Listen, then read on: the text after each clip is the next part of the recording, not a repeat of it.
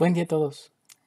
Eh, esta semana vamos a estar trabajando, vamos a estar estudiando al sistema linfoide.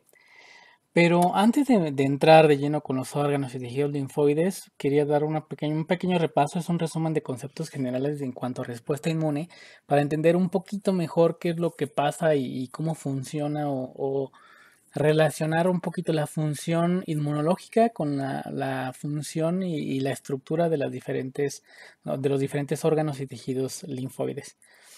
Pues bien, entonces vamos a empezar primero con este repaso. Como les digo, es un repaso muy breve. Ya en, cursos eh, más adelante tendrán una idea más, este, más amplia de, todo lo que es la respuesta inmune. Y, y, pues quizás estos pequeños conceptos también les ayuden a, a comprender mejor esa parte. Bien, pues antes que nada, el sistema inmune es, un conjunto de órganos, tejidos, que desempeñan básicamente la función de, eh, de la defensa de, que tenemos los seres humanos y los animales para poder responder a los diferentes eh, tipos de antígenos que existen eh, y que pueden generar una, enfermedad, ya, ya, sean bacterias, virus, parásitos, hongos, etcétera, etcétera, etcétera. Eh, entonces este conjunto de tejidos está organizado y, tiene la función fundamental esa de protegernos contra cualquier agente patológico. Los componentes principales, este, ya en la respuesta inmune completa, vamos a llamar lo que son las barreras físicas y químicas. Aquí están, por ejemplo, la piel, que no permite que, cualquier cosa pueda entrar. Este, las mucosas de, la nariz, de la saliva, este, el tracto digestivo, la acidez este, que tiene, por ejemplo, nuestro, estómago, entre muchas otras barreras físicas y químicas, ¿no? Aquí son, este tipo de barreras son muy inespecíficas, ¿no? Nos, protegen de todo lo que esté afuera, ¿no? Llámese virus, hongos, bacterias, no hay, una especificidad. Y de ahí, pues, a lo que más nos, nos importa ahorita platicar es acerca de los órganos linfoides. Dentro de este lugar vamos a, dividirlos en dos partes, unos que van a ser los primarios y otros que van a ser los secundarios. ¿Cuál, es la diferencia entre uno y otro? Los órganos linfoides primarios van a ser aquellos en los que se generan las células del sistema linfoide, o sea, los linfocitos. Entonces, en estos va a estar sobre todo la médula ósea y el timo, el cual ahí van a madurar los linfocitos T. Vamos a platicar de ellos un poquito más adelante. Y tenemos a los, a los secundarios. En los secundarios es donde eh, se da el contacto entre los, eh, las células del sistema inmune, los linfocitos, y aquellos agentes que pueden causar una infección. Los vamos a llamar de manera general antígenos. Ahorita vamos a ampliar un poquito más al respecto de ese, de ese tema. Dentro de los secundarios vamos a tener al vaso, a los nódulos linfáticos y a algo que no son precisamente órganos, pero le llamamos que es el tejido asociado el tejido linfoide asociado a mucosas. Vamos a encontrar que hay en varias partes de nuestro cuerpo. Como digo, la gran diferencia entre, entre los órganos y los tejidos, pues es que el órgano tiene una cápsula o tiene una barrera que lo delimita, eh, que tiene un, límite muy concreto.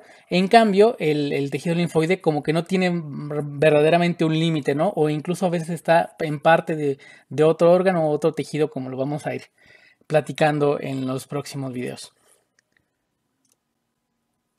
Estas van a ser las células que, van a estar involucradas en toda la respuesta inmune. Sin embargo, ahorita los que más nos van a, interesar van a ser sobre todo esta línea linfoide, que van a ser los linfocitos T y los B, porque van a ser los que vamos a estar viendo en los diferentes órganos eh, linfoides, el vaso, los ganglios, este, el timo, sin embargo, otros que también van a ser muy importantes en este pequeño repaso van a ser estas dos del extremo derecho, las células dendríticas y los macrófagos, ya que son muy importantes en cuanto a su función como presentadores de antígenos.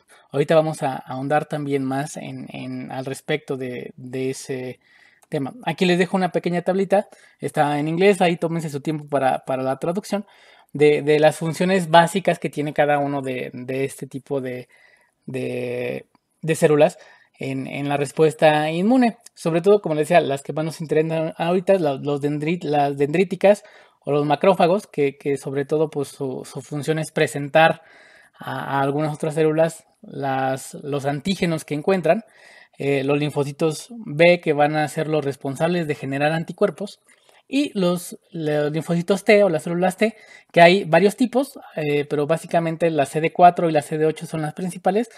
Este, van a estar tanto involucradas en la defensa o en, el apoyar a las otras células del sistema inmune, en, aumentar su, vigor, por así decirlo. También directamente están involucradas en eliminar eh, células que, posiblemente, bueno, que estén infectadas por virus o que incluso sean este, cancerígenas. Y también hay algunas reguladoras que también modulan la respuesta de, otras células. Entonces vamos a, hablar a, muy grandes rasgos de las funciones, sobre todo de esos tres tipos celulares. Algo que es a veces importante mencionar es que la respuesta la dividimos en, la respuesta inmune la dividimos para su estudio en dos, sobre todo en innata y en adquirida, o también algunos libros la llaman adaptativa, pero realmente la respuesta inmune es solamente un proceso eh, completo y simultáneo, ¿no? La, respuesta innata y adquirida básicamente se llevan al mismo tiempo, pero la, diferenciamos en que la innata, sobre todo, está eh, generada para respuestas eh, naturales físicas y químicas, como les decía, las barreras como la piel, la acidez del estómago, el moco que, tenemos en las diferentes partes de nuestro cuerpo, y también algunas células que, no, que no son específicas. Este es, este es el primer, nuestra primera línea de defensa cuando nos encontramos a un antígeno, una bacteria, un virus nuevo. Y la respuesta adquirida ya es una respuesta mucho más rápida, mucho más aguda y es totalmente específica. Ya aquí sobre todo juegan eh, los linfocitos, los T y los B, eh, su papel, porque ya es un reconocimiento muy muy específico debido a los receptores que, que tienen y la forma en que estos se activan.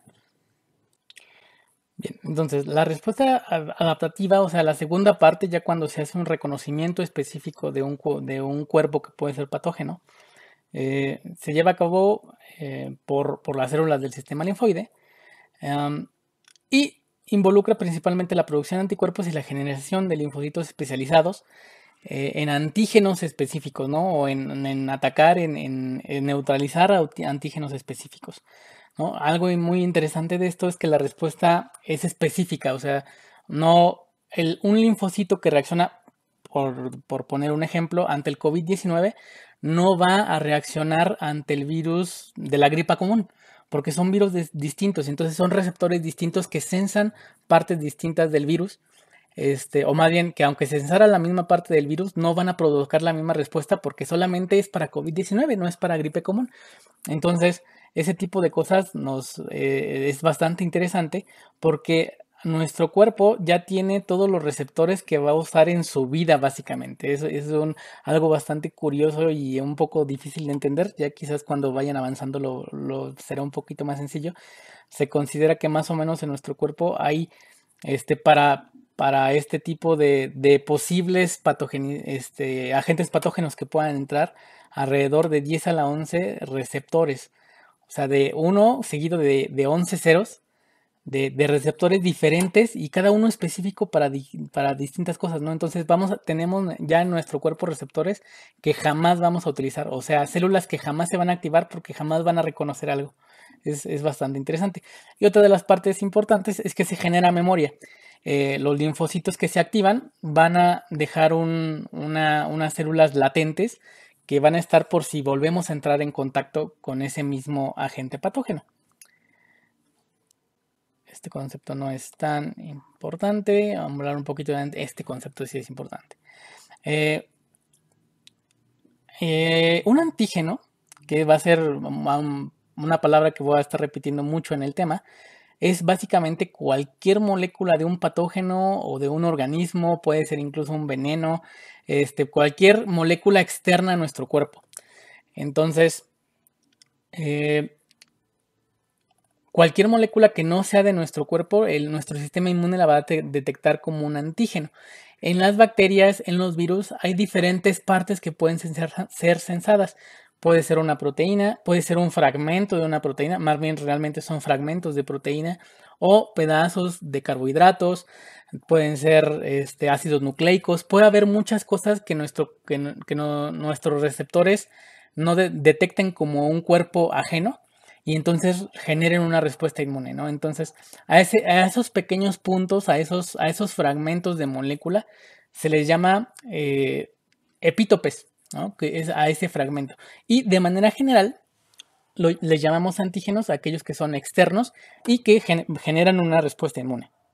Ahora, es importante decir que para que los linfocitos o las células del sistema inmune detecten estos antígenos, a, veces los pueden hacer, o muchos, muchas células del sistema inmune, por ejemplo los eh, los detectan cuando están libres o cuando están sueltos a través de ciertos receptores. Sin embargo, cuando es eh, el activar a las células linfocitos T y B, tiene que hacerlo una presentadora de antígeno.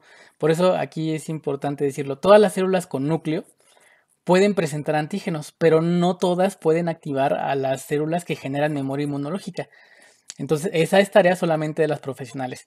Esta, cuestión de la, presentación de antígenos se da a través de un complejo de proteínas que están dentro, aquí en la parte de atrás, del, complejo mayor de histocompatibilidad, que son una serie de 200 eh, genes dentro del cromosoma 6, este, que van a permitir precisamente eso, que la célula pueda mostrar cuando hay la presencia de, algún antígeno.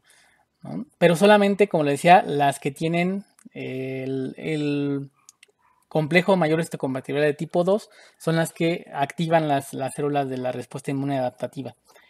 Vamos a, platicar un poquito más de ello. Esto es de la 1 y este es de la 2.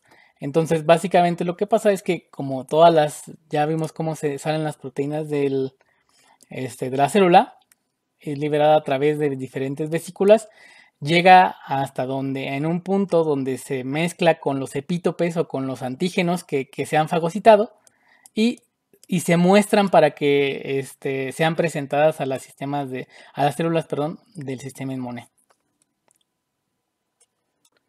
las células encargadas de esta función sobre todo van a ser las células dendríticas y los macrófagos. Los linfocitos B también tienen la capacidad de mostrar su antígeno o el antígeno que los activó primeramente, pero ya eso lo, lo veremos. Como les decía, es a través de una serie de, proteínas que, pueden mostrarlas. Aquí pues es una representación esquemática de esto, este, de cómo se da esta, esta señalización, ¿no? De cómo una célula presentadora de antígeno muestra el, el antígeno que detectó. En este caso es el péptido que está aquí al centro.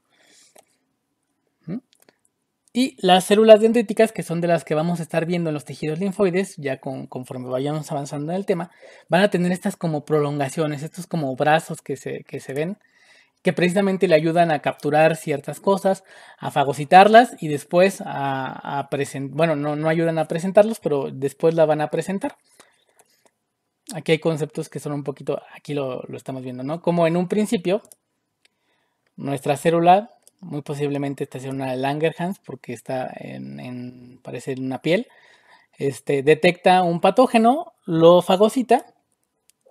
De ahí se va a buscar a las células del sistema inmune en un nodo linfático y le presenta nuestra célula eh, dendrítica, le presenta un, a este, el péptido que encontró, el antígeno que encontró a una célula para activarla, a una célula T para activarla. Y más o menos ese, es el... hablemos muy a grandes rasgos de los linfocitos. Como les digo, este nada más es un repaso este, rápido. ¿no? Los linfocitos T, vírgenes, este, van a estar, van a migrar del timo, van a salir del timo, van a estar en la sangre, en la linfa, en los ganglios linfáticos, van a buscar eh, su antígeno específico, o sea, van a buscar que les presenten a su antígeno y una vez que son activados, o sea, una vez que se les presente el antígeno, van a empezar una expansión clonal. ¿Qué quiere hacer? ¿Qué quiere decir eso de expansión clonal? Van a hacer copias y copias de sí mismo. Y van a, ahí a dividirse dependiendo de, los efectores que tengan y de las necesidades que, tengan. ¿no? Hay diferentes tipos, eh, diferentes eh, categorías funcionales que tienen los linfocitos y, dependiendo de la necesidad inmunológica se van a transformar o van a generar ciertas funciones, ¿no?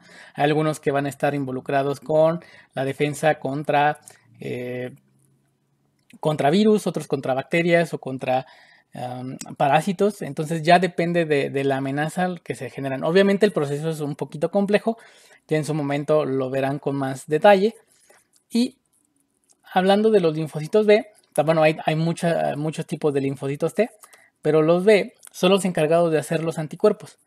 Entonces, en este caso, ellos también tienen un, receptor específico que va a estar buscando su anticuerpo, algo que los active, ¿no? En este caso, por ejemplo, la imagen es un virus. Una vez que lo detectan, fagocitan lo que, lo que detectaron y presentan el anticuerpo para que sean nuevamente activados. Eh, a este proceso se le llama segunda activación. Cuando eso sucede, hacen un cuerpo que se le llama cuerpo germinativo. Lo vamos a estar viendo en los ganglios linfáticos, en el vaso, este, en el tejido asociado a, perdón, en el tejido linfoide asociado a mucosas. Y, son este tipo de cuerpos que se, ve, se van a ver una parte blanca y al lado algo que le llaman manto, algunos libros le llaman corona, como más oscuro cuando, cuando se hace la tinción histológica. En, estos, en estos cuerpos germinativos lo que se hace es que se especializa el, el, anticuerpo para que el nuevo anticuerpo que vaya a producirse, el anticuerpo más bien que vaya a producirse, sea muy, muy específico para el virus o para la bacteria que se, que se fagocitó, ¿no? Que, que, activó a este linfocito. Como digo, hay varios tipos de linfocitos. Este, como este nada más es como una pequeño, un pequeño resumen para entender bien esta cuestión de los linfocitos, de, de los diferentes componentes que vamos a estar viendo en, en, el tema. Y este, si hay dudas o algo así, pues podemos abundar un poquito más cuando, cuando empecemos a, a o cuando estemos en la sesión de retroalimentación.